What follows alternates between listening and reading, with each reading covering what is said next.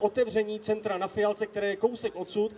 A vy všichni, kteří třeba jste o tom ještě nevěděli a chtěli byste se tam jít podívat, tak budete mít možnost přibližně v půl desáté a pět minut se připojit do tohoto průvodu nebo do průvodu, který tady uh, půjdou s vámi uh, dámy a pánové, uh, kteří budou ukazovat své aktivity, tedy tým geje, tedy tanečníci, kteří tady za chvíli předvedou trošku ze svého umění a pak samozřejmě parkouristé. Budete následovat tento vůz, tento stříbrný vůz s logem pojďte s námi na Fialku, na Fialce Centrum pro volný čas.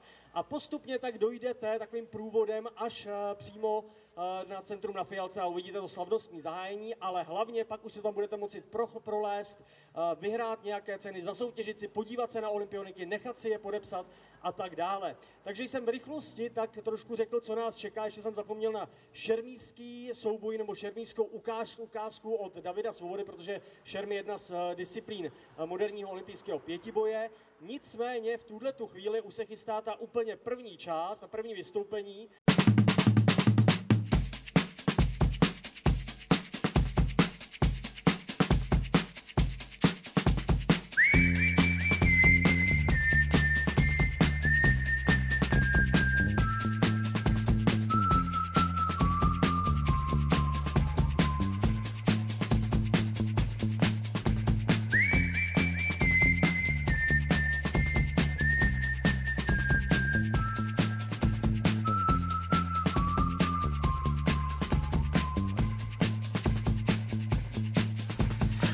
If I told you things I did before, told you how I used to be, would you go with someone like me?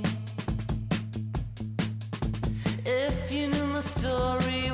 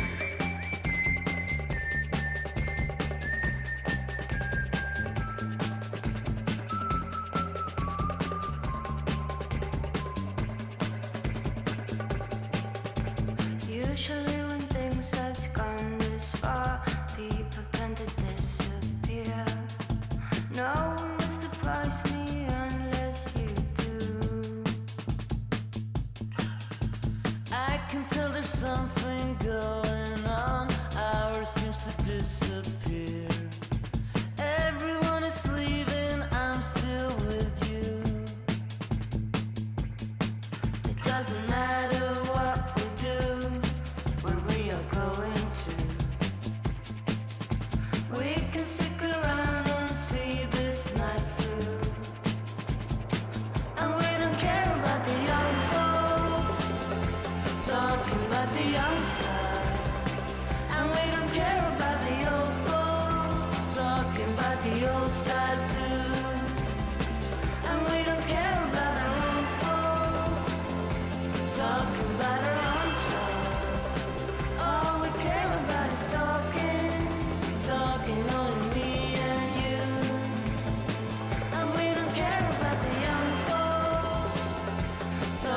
but the answer.